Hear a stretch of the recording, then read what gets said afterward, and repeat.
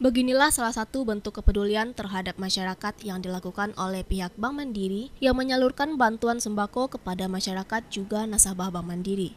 Bantuan sembako ini merupakan salah satu bentuk kepedulian Bank Mandiri dalam membantu masyarakat terhadap dampak COVID-19 yang terjadi. Sehingga adanya bantuan sembako yang diberikan jelang Lebaran Idul Fitri kali ini dapat mengurangi beban masyarakat. Sembako yang diberikan merupakan salah satu bantuan yang dilakukan oleh seluruh karyawan Bank Mandiri cabang Padang.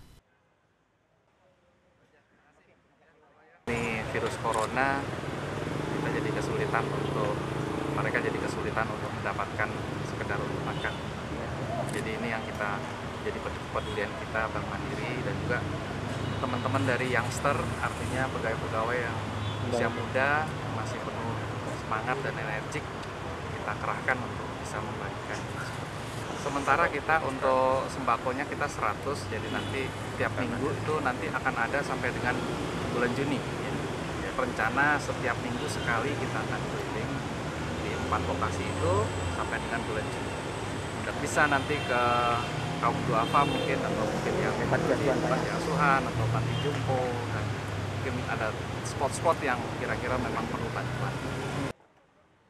Dari Padang, Sumatera Barat, tim iNews melaporkan.